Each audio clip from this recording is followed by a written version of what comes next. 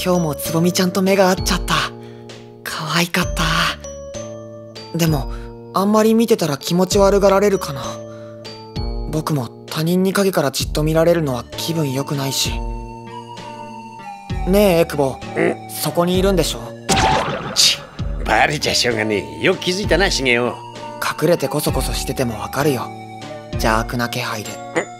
何してたの？邪悪とか言うんじゃねえよ。何言ってん、ちょっと人間観察をな。そんな悪そうな顔して。今は真顔だよ。そうだ。これからアルバイトなんだけどレーゲン師匠が今度エクボも連れてこいって言ってたよ。レーゲンが？そろそろ細かい仕事を覚えてもらいたいんだって。冗談じゃねえ。いつから俺様があいつの部下になったんだよ。いやまだ使用期間でもうちょっとできるようになったら従業員にしてやるって。あの野郎モブの手前下手に出てたら調子に乗りやがって。来るの？来ないの？ふんあいにく俺様もこの後予定があってな。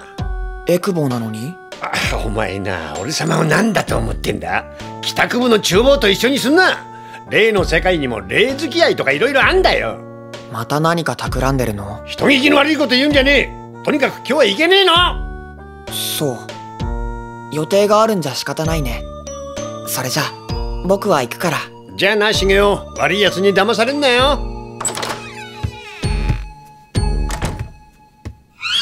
なんちゃってな。霊源の事務所にいても雑用やらされるだけで新しい情報は入ってこねえからな。そんじゃちょっくら人間観察の続きでもするか。茂雄を手なずけるためには周りの人間のことも深く知っとく必要があるからな。さてサイキックヒューマンショー。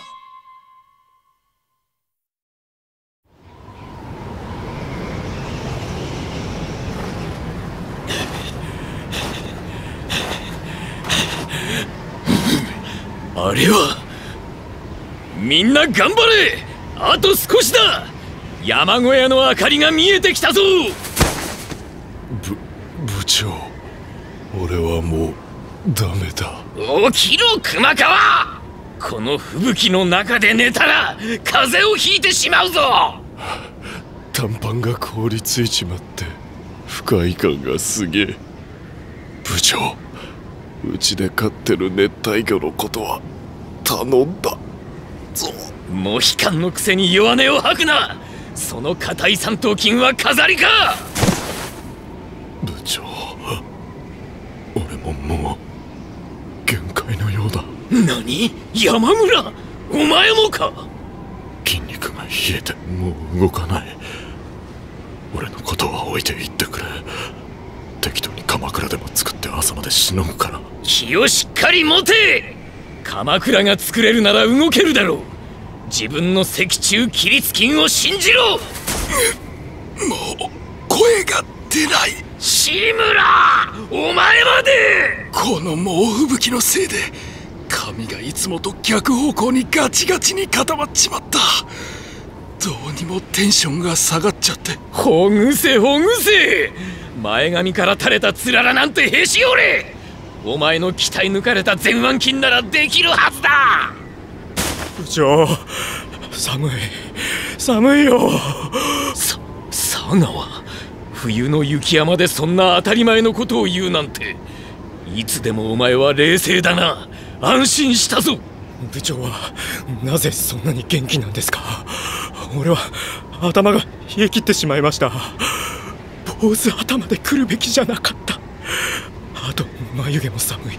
そのヘアスタイルなら雪が積もらずに滑り落ちていいじゃないか。それにお前にはその鍛え抜かれた僧帽筋と強酸乳突筋があるじゃないか。何？お前も？って誰の声だ？部員は5人のはずだが。部長後ろ！なんだこの男は？全身真っ白でなんて毛深さだ。確かに半端じゃない毛深さだ。いや毛深いだけじゃない。あの毛深さに隠された筋肉はただものじゃない。待てお前たち。彼は何か言いたいことがあるらしい。うん。うん。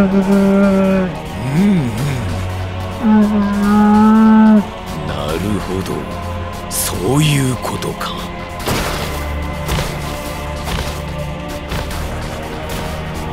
さて言った部長今のってもしかして雪男わからん。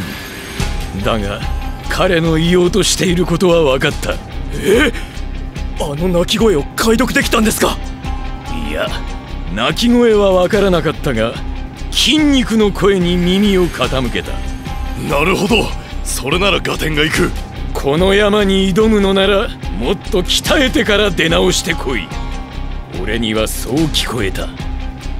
お前たち上には上がいるぞ部長ああその意気だ。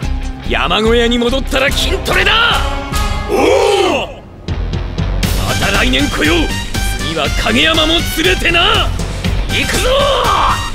肉改ファイ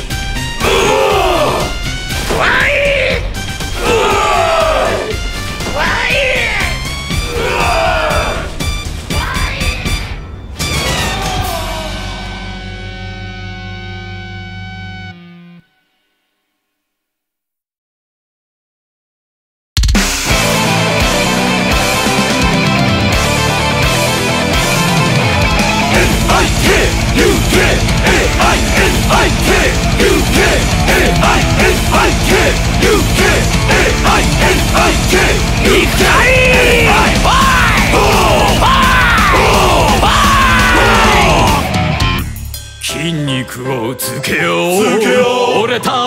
は今を生きてる。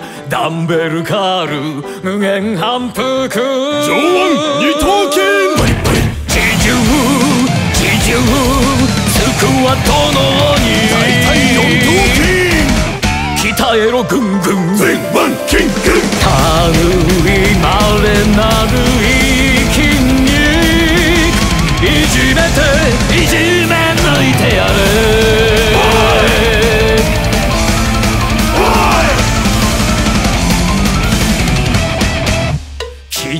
は誇れる。誇れる。そこにある芸術。なのだ。プッシュアップで改造上手。上腕三頭筋。硬い硬い。締めれば最強。硬い三頭筋。プリといい子だ大前筋極めて極め上げてみろ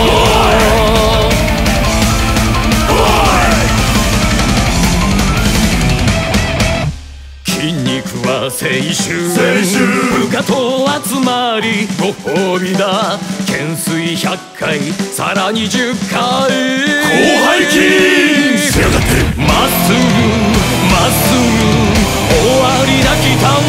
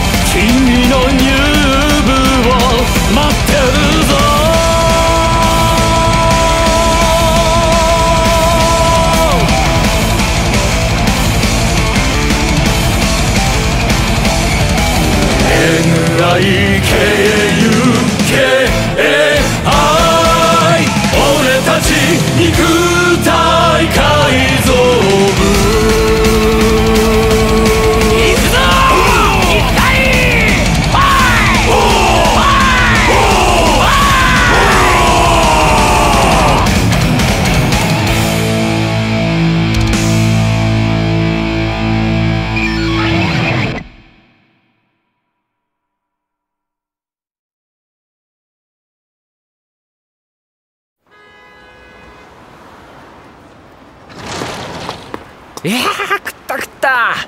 やっぱ仕事終わりのラーメンは格別だなモブ。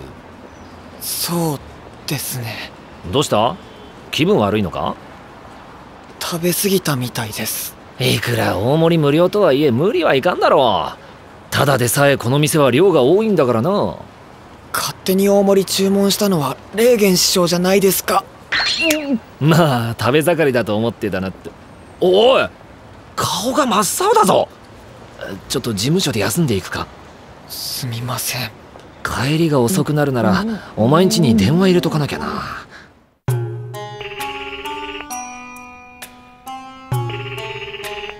はい影山です。おリツかそのうさんくさい声はレーゲンさん。何か用ですか？実はモブがグロッキーでな。回復するまで事務所で休ませようと思う。帰りがちょっと遅くなりそうだ。兄さんが！まさか仕事中に事故か何かが。悪霊は片付いたんだが。そんなにヤバいのを相手にしてたんですか。あーまあモブにはちょっと重たかったみたいで。え？兄さんでも荷が重かったんですか？ああいや量が多くて。量が多いって。そんな大群を兄さん一人で。どうしてそんな無茶をさせたんですか？おおすまんいけるかなと思ったんだがあいつにはまだ早かったみたいで。そんな判断ミスが許されると思ってるんですか？いやモブも強くなりたがってそうだしガツガツいっちゃった方が体もたくましく成長できるかなって。兄さんは確かに体を鍛えようとはしてますけどそれとこれとは関係ないでしょまあ初めはきついかもしれんが何回か挑戦すると意外と体が慣れてくるんだぜ。慣れるまで何度でも戦えと言うんですか？そんな危険な綱渡りをさせるのはどうかしてますよ。いやいや強制したつもりはなかったんだが別に無理しなくても。兄さんが頼まれたら断れないタイプなのはレーゲンさんだってしているはずです。きっと無理をしてでもこれは自分一人で何とかしなきゃいけないって思ったはずだ。かわいそうに。確かに。最初に多かったら残してもいいんだぞって伝えておく必要があったな。は残してもいいって。兄さんが処理しきれなかった分はどうするつもりだったんですか？そりゃあ俺の責任だからな。残りは俺が引き受けるさ。レーゲンさんが？はあまたそんな無茶なこと言って。わかりました。僕がやります。え？今度は僕がやります。何を？兄さん一人だと厳しいような状況。相手が重かったり量が多い場合は僕を呼んでください。え？そのためだけにお前を呼ぶの？ああいやお前も勉強とかで忙しいだろうし。構いません。そんなことを言っていられる状況じゃないですから。呼んでください。いつでも駆けつけますから。おお。とりあえず兄さんは回復しそうなんですね。あああ。ソファーで少し休めばな。やはり今からそちらに迎えに行きます。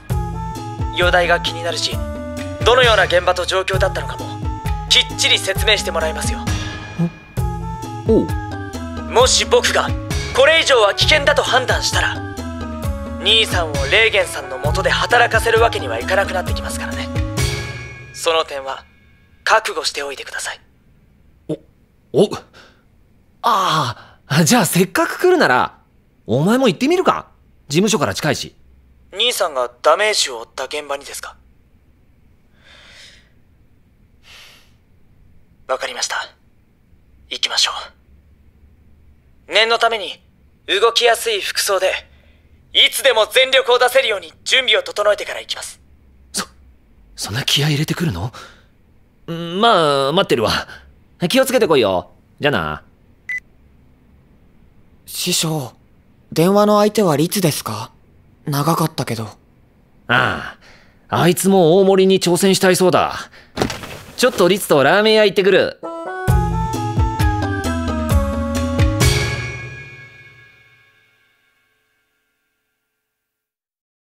サイキックヒューマンショー。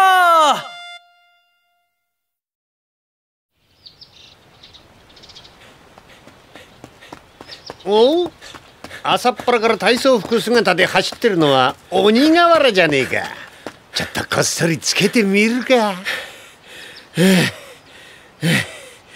早朝ランニングってのも悪くねえな。体がいい感じに動かしやすくなった気がするし終わった後の飯もうまいし。へへこいつも神経が研ぎ澄まされてきたのかもな。しゃあこの調子で鍛えていけば黒酢中の裏番にも勝てるようになるかもしれねえ。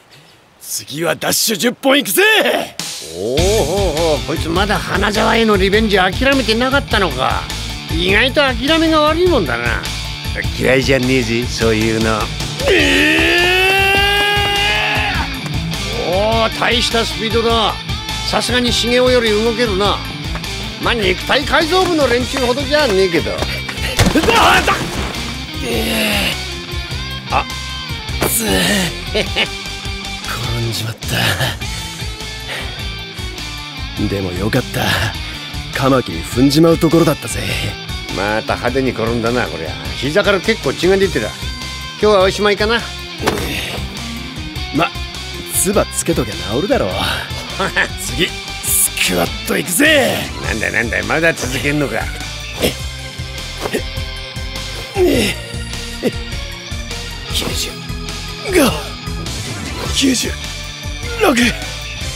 95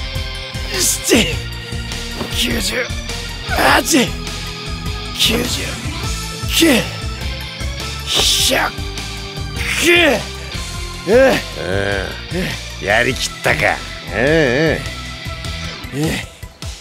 よしはいおほほほ今度はシャドーボクシング始めやがった鬼ラッシュに変わる新必殺技をおいおいそろそろ考えねえと。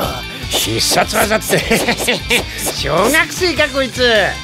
これが俺の新必殺技だ。ファイナル鬼波動砲うわー。一人で架空の必殺技叫んでやんの。絶対人に見られちゃいけない場面じゃん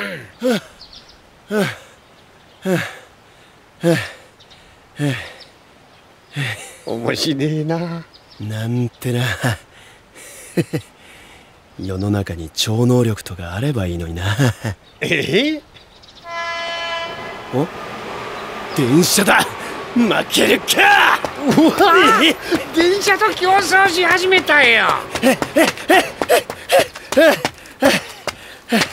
まださすがに電車に勝つのは無理か？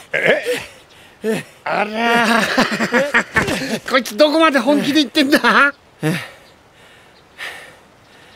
あもう限界だ。ついに力尽きたか。こうやって流れる雲を見てると自分がちっぽけな存在だってことに気づいちまうぜ。ふう。なかなか深いこと言うじゃねえの。なあカマキリちゃんよ。お前もそう思うだろう。わーちょっといいこと言ったと思ったら今度はカマキリに話しかけ始めたよ。なんか見てて辛くなってきたな。まさか運動を通して気づけることがこんなにあるなんてな。それもこれも俺にきっかけを与えてくれたゴーダのおかげだ。ゴーダ？ゴーダってあの部長のことかい。こんな嫌われ者の俺に救いの手を差し伸べてくれる奴がいるなんて世の中もなかなか捨てたもんじゃないぜ。おいおい昔の青春ドラマみたいなこと言い出したぞ。大丈夫か？マジであいつには感謝してるぜ。こんな独り言恥ずかしくて誰にも聞かれるわけにはいかねえけどな。なカマキリちゃんよ。全部聞いちゃっててごめんなでもなそっちより必殺技の方がヤバかったぜ。あいつは俺にこう言った。まずは自分に打ち勝てと。その時になって初めて見える世界があるってな。自分との戦い上等じゃねえか。こいつにはこいつの青春があるんだな。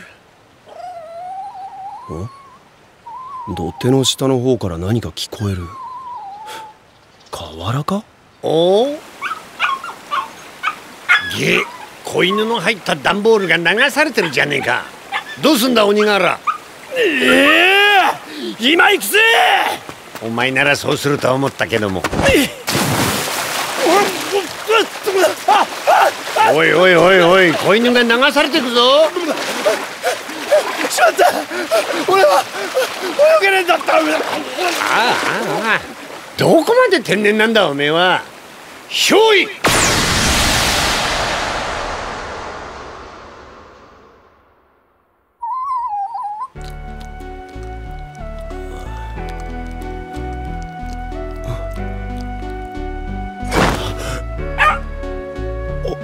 お前助かったのか？あれ？俺も確か溺れかけてどうなったんだっけ？今回は特別に憑依して助けてやったんだこいつも一応茂雄に近しい人間だ。いつか利用できるかもしんねえからな。おかしいぞ。俺がどうして助かったんだ？犬まで一緒に。まあ普通なら不思議に思うよな。まあ助かったんならどうでもいいか。お前ならそう来ると思ったぜ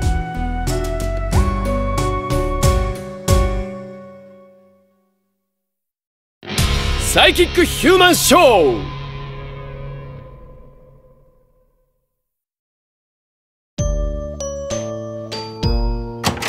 行ってきます。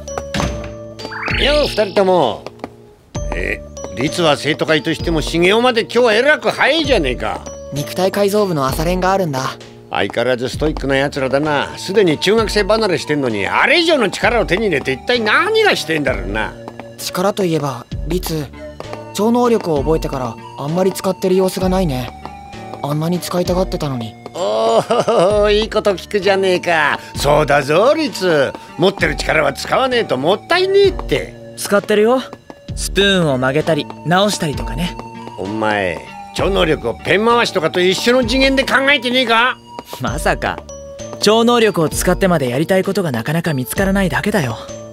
この力をつまらないことには利用したくないからね律は超能力に頼らなくても何でもできるからね。お前ら兄弟はほんと特別な力の価値ってもんが分かってねえな。こうなりゃ二人まとめてプロデュースしてやるから俺様と手を組もう嫌だ。早えよ。二人揃うといつにも増して即答だな。エクボに言われなくても使うべき時に使うさ。うん。焦る必要はないよ。まったく宝の持ち腐れ兄弟だな。おなんだこの気配は？律何か来る？あ兄さん。なんだろう？気をつけろ。これは紛れもねえ。悪霊だ。出た。なんだあのデザインは？エクボにそっくりだ。でも色が違うね。うん。仕草や表情も。かわいいね。元は何の動物かな？見た目に惑わされんなよ。こいつはかなり凶悪だぜ。半端ねえ霊力だ。あほら俺様のこと睨んだぜ今。どうする兄さん。特に何もしなさそうだし放っておいていいんじゃないかな。うん。でも後をついてくるよ。絶対何か企んでるぞこいつ。このまま学校や家までついてきたら面倒だな。それをエクボが言うんだあっち行けこらああいってーこいつ噛みついてきやがった。じゃれてるだけじゃない？うん。悪意は感じないね。バカ。悪意ビンビンじゃねえか。ああえー、頼む。助けてくれ。あどうする？律でもどうやって助ければ？いやいやいやいやいやだから超能力しかねえだろ。さっき使うべき時に使うって言ってたじゃねえか。今が使うべき時なのかな？ええ使うべき時じゃなさそうだな。あてめえさては俺様に代わってこいつらに取り入ろうって腹だな。そうはさせるかもっと坂に来た。こうなりゃ俺様も本気だ。エクボが押されてる。これ以上は止めないと。そうだね。超能力を使おう。ってさっきから可愛いこぶりやがって。そのぐらいなら俺様にだってできるぜ。うんうん僕ちん助けてください。りっちゃん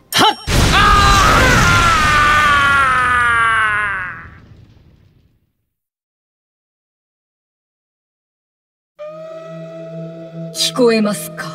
聞こえますか？私は今、あなたの脳内に直接話しかけています。もし、あなたがテレパシーを使えるなら、このメッセージを受け取れるはずです。あもうコーラがなくなってますね買い足しておかなきゃコンソメポテチにコーラは欠かせないですからね聞こえているはずです。聞こえているのならば右手を上げてください。今はゲームで手が離せないようですね。では聞こえているのならば口を開けてください。体育で走らされた日の放課後は眠いっすね大きな口を開けましたね。どうやら聞こえていますね。犬川。やはりあなたはテレパシストだったのですね。実は前々からそうじゃないかと思っていたのよ。だって、そうじゃないと説明がつかないもの。宇宙人にも超常現象にも興味のない人間がこの部活に参加してるのは不自然だもん。でも、大方の見当はつくわ。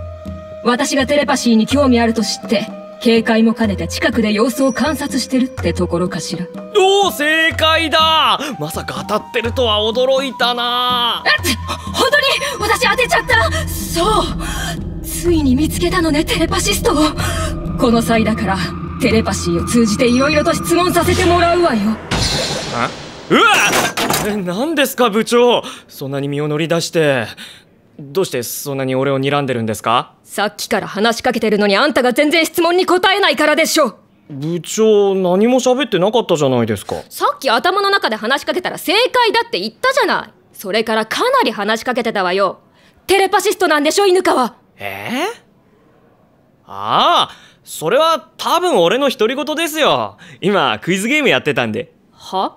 じゃあ私は勘違いでずっとあんたに向かって念じてたわけ？あーでも俺はテレパシーとか使えないですけどなんか部長の方向から圧迫感みたいなのは感じましたよ。なんとなく。もしかして部長にテレパシーの素質があるんじゃないですか？マジ？私にそんな才能が？ちょっと俺もメッセージを受け取れるように頑張ってみるんでもう一回試してみてくださいよええやってみるわ。じゃあ私が頭の中でどっちかの手を挙げるように指示するからそれに従って手を挙げてみて。OK です。おー。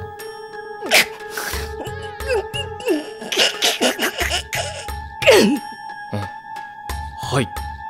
では右手を上げます。すごい。言葉にしてないのに伝わった。指示した通りの結果になったわ私がテレパシストだったなんて心の中で右右右って唱えてたのよ。ええ顔面のパーツが全部右に寄ってたんで伝わりました。いやそれテレパシーじゃねえから。おおなんか盛り上がってますね。何やってるんすか？おおサルタ部長がさ。待ちなさい。サルタがテレパシストの可能性も捨てきれないわ。ちょっとサルタにも試してみる。サルタ聞こえますか？サルタ今あなたの脳内に直接話しかけています。なんすか？サルタあなたの正体は分かっています。テレパシーが使えるんでしょ？だからここの部員になったんでしょ？とぼけても無駄。私は騙されないわよ。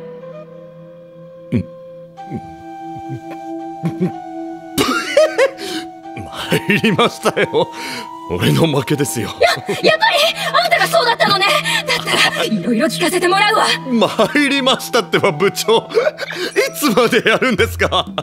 サルタお前部長が今何してるか分かってんのか？え？にらめっこじゃないんですか？話にならないわ。うるさいな。うんもうじゃあ残るは生地林だけね。生地林先輩は寝てるじゃないですか。寝てるふりをして実は全部聞いていたんでしょ？そうでしょ？ほらほら。こういう私の心の声だって全部筒抜けなんでしょ？生地林。聞こえますか？聞こえますか？あーすいません。俺お先に失礼しますね。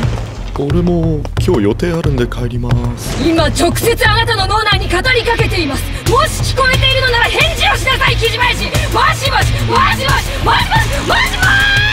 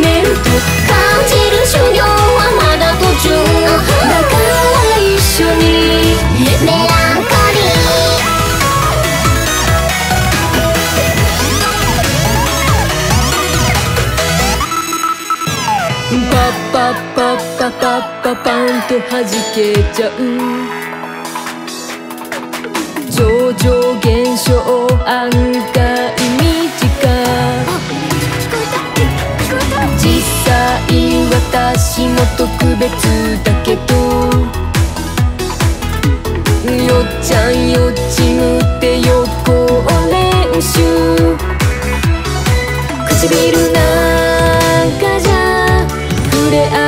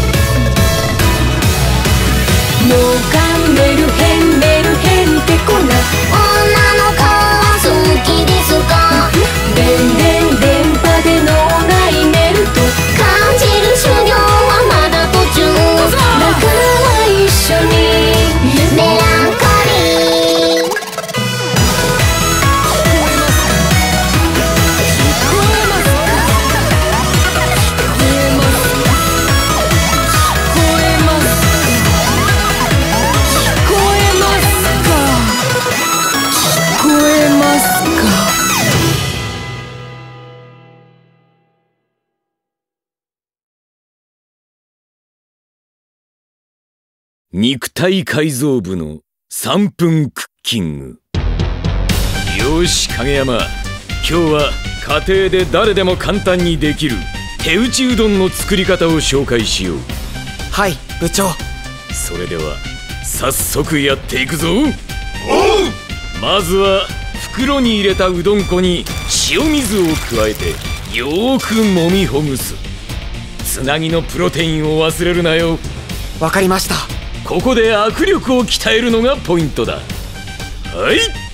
握って緩めて。握って緩めて。握って緩めて。よーし。今度は足で踏んでいこう。ここうですか？そうだ。腹筋に力を入れてそのままキープ。はい。1 1 1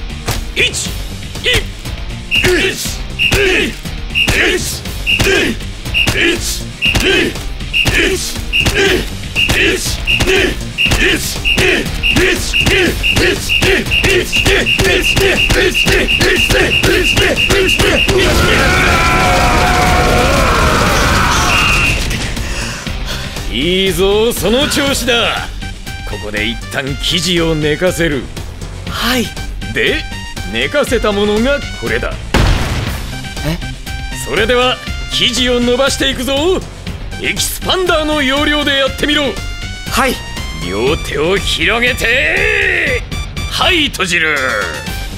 広げて。閉じる。広げて。閉じる。よーし。いよいよ麺の切り分けだ上腕二頭筋を使ってやっていくぞ。はい。いくぞ。せいや。せいや。せいや。せいや。よーし。極太麺の出来上がりだ。おいお湯は沸いたか？おお上腕三頭筋を意識しながら麺を鍋にぶち込め。せーの。よいしょ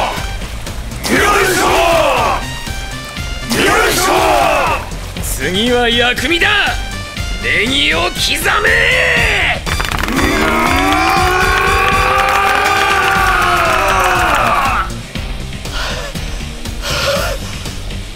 腕がまだまだ前腕筋をフルに使って生姜をすりおろせ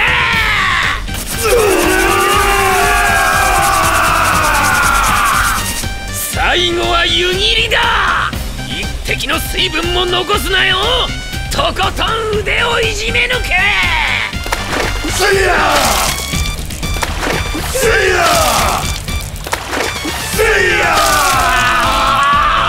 せいよっしゃざるに持ったら完成だよくついてこられたな影山はい最後は咀嚼筋の運動だかかれ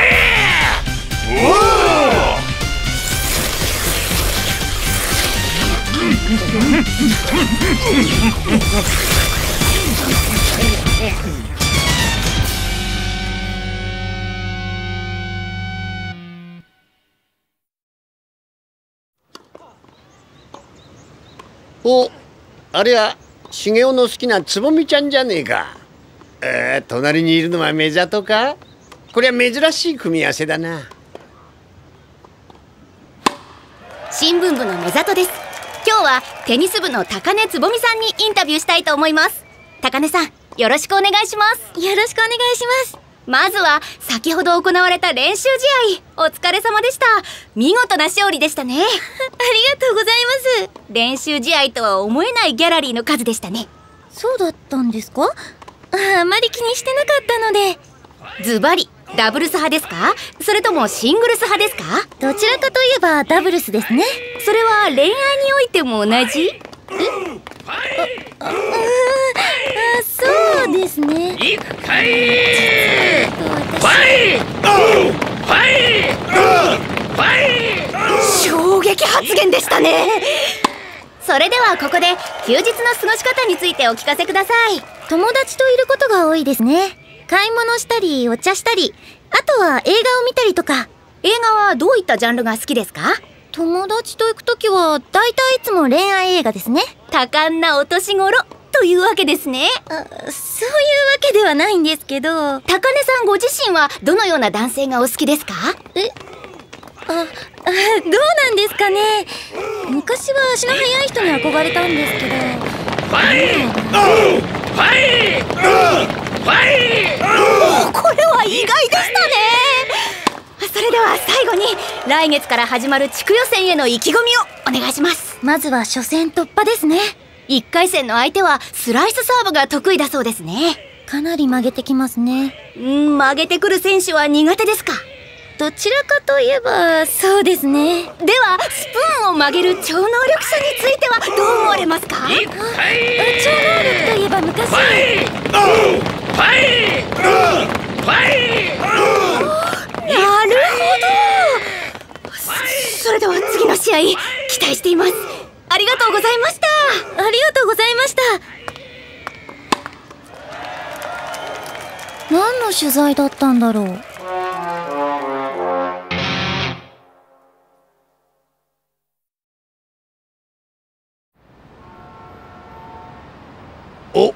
ここは花沢のマンションじゃねえか。へへちょっと覗いてみっかな。ん？なんか聞こえるな。さっさと吐け！なんだ？なんて強情なやつだ。花沢くんあんまり叩くと良くないんじゃ。茂雄も一緒なのか？こいつら何してるんだ？いいんだよ。こいつには優しくしなくても。何しろこいつは僕の大事なものを飲み込んでしまったんだからね超能力で取り出せないかな。うん。ちょっと試してみよう。引きずり出せるかどうか。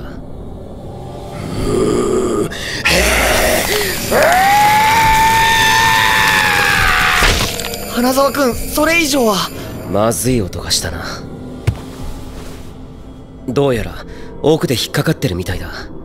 物理的にこじ開けて開かせるしかない。僕も手伝うよ。悪いね影山くんなら試しに口から手を突っ込んでみてくれるかい？分かった。やってみるよ。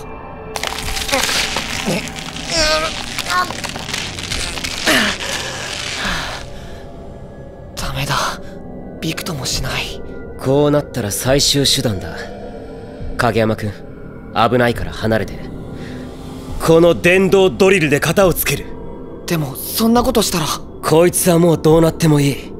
まずはあれを無事に取り出さないとよ。よし開いた。へえ中ってこうなってるんだ。感心してる場合じゃないよ影山くん。早くそいつを引っ張り出して。うん。そんな巻きついてる。花沢くんこれ以上引っ張ったら中身が全部出ちゃうよ。なんてことだ。これじゃもう再生できないじゃないか黙って聞いてりゃお前らいちいち思わせぶりすぎだろ。あれ？エクボいたんだ。人の家を覗き見るなんて君もなかなか穏やかじゃないね。お前らの方がよっぽど穏やかじゃねえだろ。たかだかビデオデッキの解体でなんつう物騒な会話してんだ。この巻きついたテープそんなに大事なものだったの？空飛ぶ豚の屍僕の大好きな映画だよ。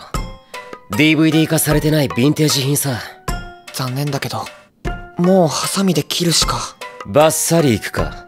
だからいちいち物騒な言い方すんなって。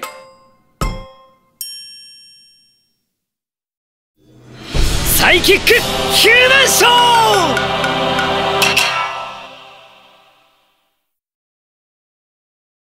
肉体改造部の3分クッキング。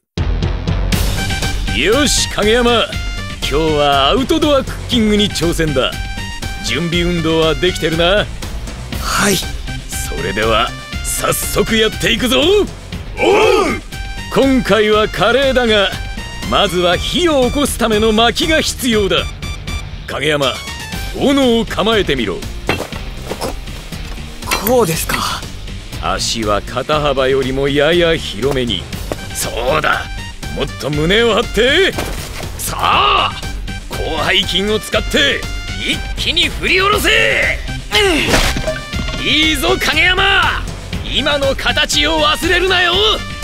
それもう一丁。よいしょよいしょよ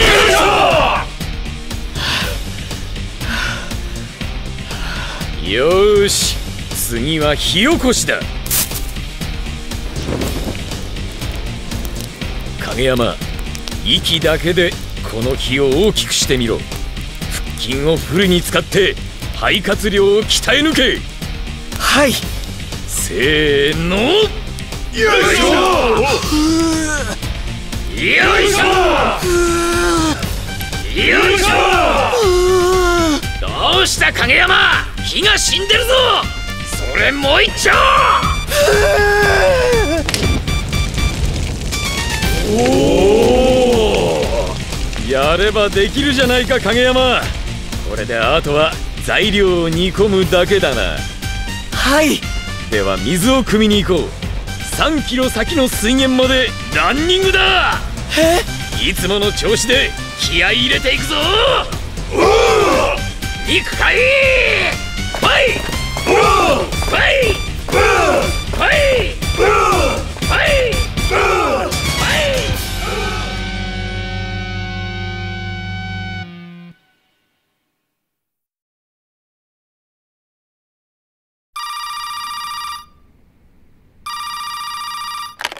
はい。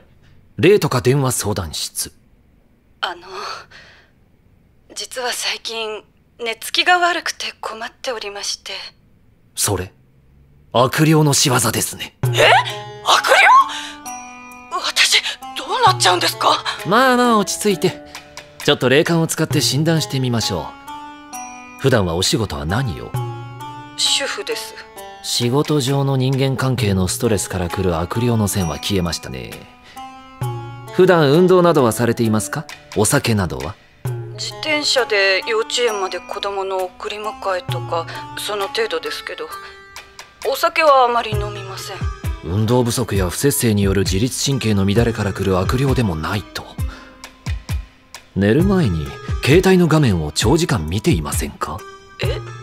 はい寝る前にメールしたりネット見たりしてますけどどういう関係が？霊は携帯やパソコンのブルーライトに強く吸い寄せられますからね。そんな虫みたいに？最近では w i f i 経由で霊に感染したというケースも。え w i f i 経由で？ちょっと試しに電話で除霊してみましょうか。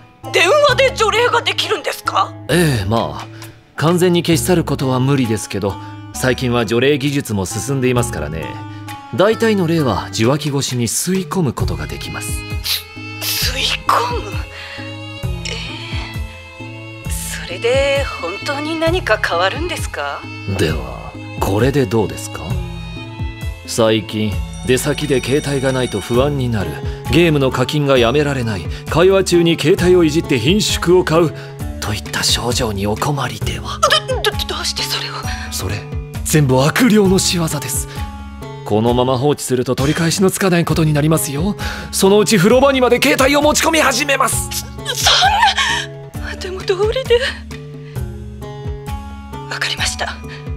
除霊をお願いします。では早速。先生この音は？これはジャングルの生音です。まずは例に自分が場違いな場所にいると錯覚させます。なるほどそれではこれより例の嫌がる音を流しますのでアイマスクを着用してください。せ先生？どんどん悪霊が逃げていきますよ。ああ悪霊が1匹。悪霊が2匹。悪霊が3匹あ まだ寝ないでくださいね。あと少しですから。先生私もう。気分はどうですか？まるでつきものが落ちたみたい。今日はなんだかよく眠れそう。油断は禁物ですよ。携帯霊は依存性が高いまたすぐに寄ってくるでしょう。先生今度直接事務所に伺ってもよろしいでしょうか？もっと本格的な除霊をお願いしたいです。正しい判断です。その依頼この霊言新たかが引き受けた。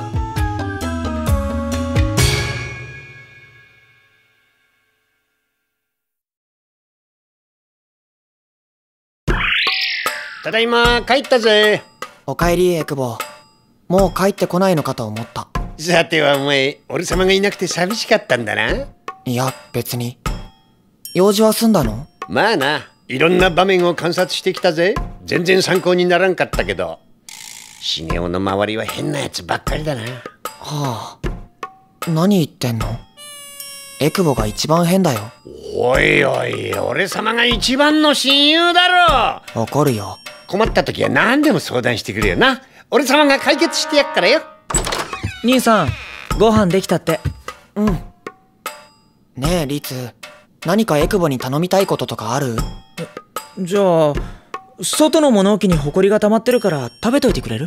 いつから俺様の餌が誇りになったんだ？エクボが物置に入ってる間にお札でも貼っておこうか。それいいね兄さん。お前ら。エクボもレーゲン師匠の弟子になれば？いろいろ教えてもらえるかも。嫌なこった。俺様はペットでもお掃除ロボットでもパシリでもねえ。れっきとした上級悪霊だ。そこいらの低級霊と違って暇じゃねえんだよ。じゃあいつも何してるの？えー、っとだな。散歩したり。街を眺めたり。暇じゃん。サイキックヒューマンショー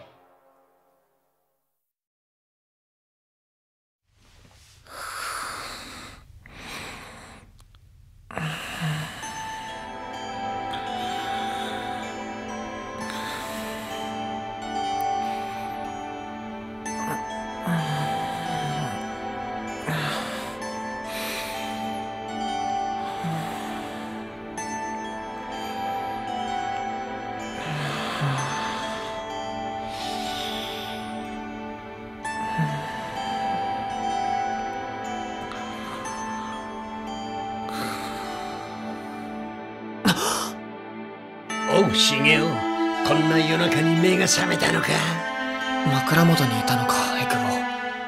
とても怖い夢を見た。汗だくじゃねえか。どんな悪夢だったんだ？嫌な夢だよ。あれどんな夢だったっけ？思い出せない。なんだもう忘れちまったのか。確か世界中が闇に覆われていきなりヘビーヘビー。暗がりの奥に恐ろしい何かがいるんだ窓を閉めて鍵をかけて見つからないように息を潜めて震えていたんだ。お前もしかして悩みでもあるのか？でもこのままずっと隠れているわけにもいかなくてそんな時に僕の部屋の窓が開いて何が来たんだ？エクボが現れたんだ。一緒に行こうって。夢の話。俺様かっけえ僕が外に出ると暗闇の中何かが襲ってきたんだ。僕は逃げた。そしたら奴らが追いかけてきてエクボが言ったんだ。なんて。戦え。俺様かっけえ。超能力を使えって。俺様。僕は超能力を使って闇を押しのけて歩いた。進んでいった先にはすごく大きくて強そうな怖いものがいたのボスが登場か。僕の超能力も効かなくてそこでエクボが言ったんだ。力を貸してやるって。俺様ってやつが。エクボが僕に憑依して敵をやっつけると闇が晴れて世界に光が差した。辺りがパーッと明るくなっていい話じゃ。んどこが悪夢なんだよ。気がつくとエクボが俺様がどうしたまさかボスとの戦いで。エクボが憑依したまま離れないんだ。そこで目が覚めた。はあ？そうするとあれか？嫌なもののメインは俺様だってことか？そうだね。こんな野郎勝手に人様を悪役にしやがって！でも目が覚めて怒ったエクボを見てもやっぱり怖くなくて安心した。眠れそうだよ。ちそうかよ。それじゃまた明日。いい夢見ろよ。おやすみ